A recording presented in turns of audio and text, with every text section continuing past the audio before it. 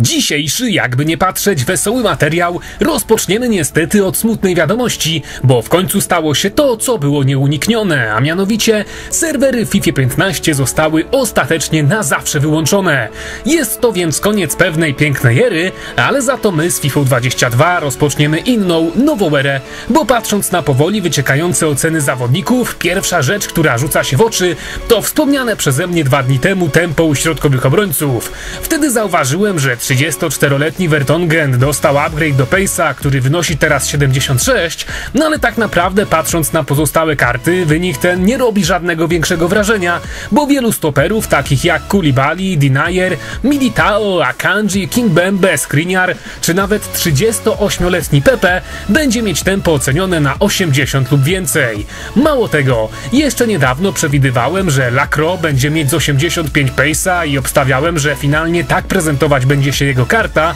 a ostatecznie Francuz otrzymał aż 88 tempa i jeśli chodzi o tę umiejętność, będzie stać na równi ze swoim klubowym kolegą Mbabu, z którym nomen omen będzie on tworzyć całkiem niezły duet do pierwszego startowego składu w 22.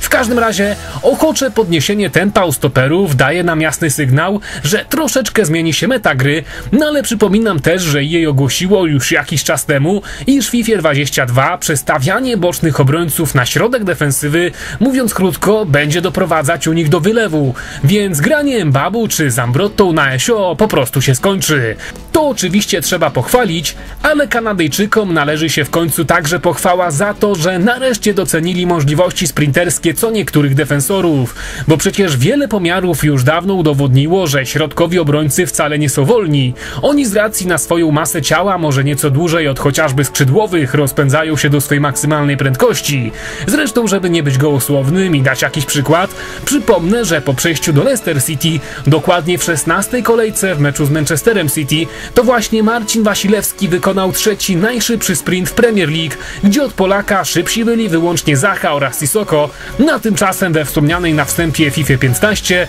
pochwalić mógł się przyspieszeniem wynoszącym 33 oraz szybkością biegu notowaną na 54. To, że ta druga statystyka jest oceniona wyżej od pierwszej jest w przypadku stopera naturalne, no ale mimo wszystko jest ona po prostu zbyt niska. Więc dobrze, że EA w końcu zaczęło wprowadzać poprawki w tych statystykach, ale jednocześnie musimy zwrócić uwagę na jeszcze jeden aspekt, który dotyczy tym razem ikon. To znaczy EA na przestrzeni lat nieco zmienia wagę statystyk i ich ocenę w poszczególnych edycjach gry. W pierwszych odsłonach Ultimate Team zupełnie normalne było, że najlepsi napastnicy mieli obronę ocenioną nawet powyżej 70,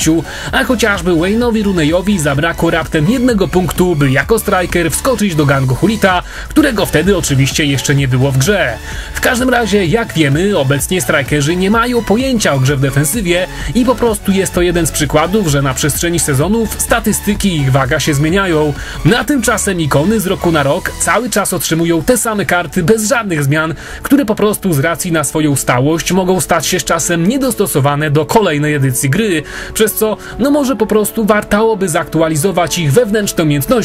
by były one w pełni przystosowane do FIFA 22. No bo jak już wiemy, teraz dostaliśmy upgrade tempa u środkowych obrońców, ale wśród ikon chociażby Vidic, Baresi, Pujol czy Mur, którzy pozostaną bez żadnych zmian, stać będą daleko w tyle za wieloma zwykłymi kartami. Ostatecznie legendy liczyć będą się przede wszystkim od lutego, kiedy każdy zawodnik otrzyma już kartę wersji Historia Ikon, no ale mimo wszystko fajnie byłoby, żeby również te podstawowe wersje kart robiły na nas wrażenie już od premiery gry, bo póki co wrażenie zrobi na nas przede wszystkim Gorecka. Wspomniałem o tym, że Runejowi zabrakło raptem jednego punkcika do defa, by ten FIFA 11 wskoczył do gangu Hulita, a tymczasem Niemiec jest pierwszym piłkarzem w całej historii Ultimate Team, którego zwykła karta posiada wszystkie statystyki ocenione co najmniej na 80. Naprawdę aż trudno w to uwierzyć, bo FUT w obecnej formie trwa już przecież od kwietnia 2010 roku, a pierwszą zwykłą kartę w gangu otrzymamy dopiero teraz.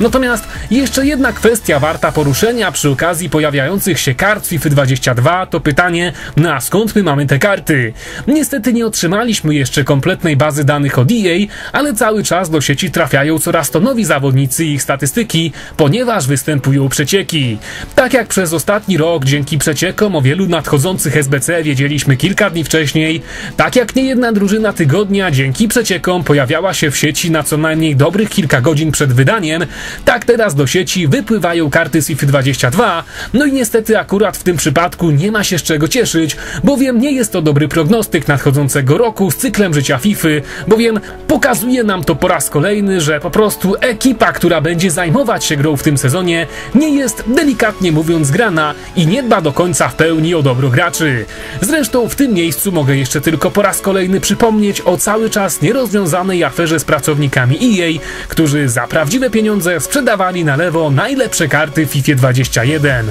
No ale cóż, póki co jest naprawdę sporo plusów, jest też parę minusów, cały czas czekamy na pełną bazę danych z kartami, żeby zobaczyć jakie startery będziemy mogli stworzyć po premierze gry, no którą mam nadzieję odpalić w pełnej wersji już w najbliższy poniedziałek. Będzie się więc działo, bo wracając jeszcze do tematu środkowych obrońców i ich tempa, wspomnę tylko, że kiedy grałem w betę FIFA 22 w lipcu, miałem też takie wrażenie, że zawodnicy z piłką przy nodze poruszają się nieco szybciej od tych, którzy jej nie mają. Więc to wysokie tempo z drugiej strony tak naprawdę może wcale nie być aż tak bardzo odczuwalne. No ale jak to finalnie będzie, pożyjemy, zobaczymy. Do zobaczenia wkrótce. Cześć!